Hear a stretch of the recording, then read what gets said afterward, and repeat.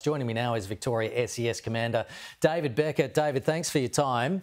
The rain has stopped, which is good news after that uh, record rainfall that we had across parts of Victoria uh, yesterday. So we're really looking at the Goulburn River uh, as well. Seymour um, peaking, it, it's it's currently steady.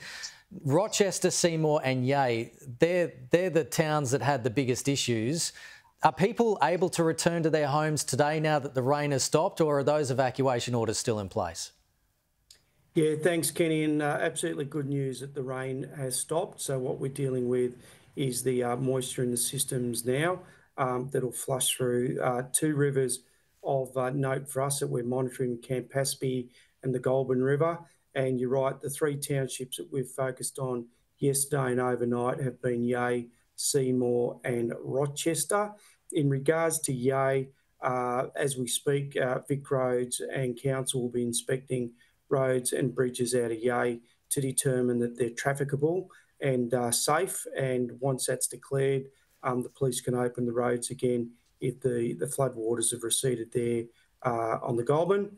Um, and then we'll continue with assessments. We know of uh, three homes that were impacted above floor in Yea and 22 other properties had impacts on land. So those assessments will continue today and hopefully Yea will be opened up again once the safety checks have been undertaken. Uh, Seymour sees uh, the Goulburn uh, falling there and uh, we'll continue assessments with impacts in the Seymour area. Rochester sees the Campaspe hitting major um, about an hour ago and uh, that's expected to peak in the Rochester Township uh, during this morning.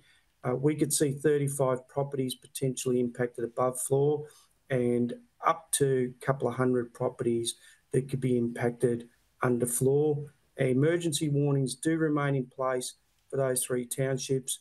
We'll review those emergency warnings in respect to Yea and Seymour as we become more aware at first light around the uh, the river falls there, and uh, but of course uh, Rochester is now um, uh, firmly uh, in our sights with the Campaspe heading downstream there, and the impacts into that township today. Yeah, so quite a number of homes that have been impacted by flooding. You were mentioning that, that they were checking on the roads in and out of Yea. So has Yea been cut off, and are any other communities cut off in Victoria at the moment? Yeah, look, uh, was um, isolated as of uh, last night, and uh, that's why the checks were being done. And, there's safety checks being undertaken by the road management authorities. It's it's not enough to simply say the waters have receded.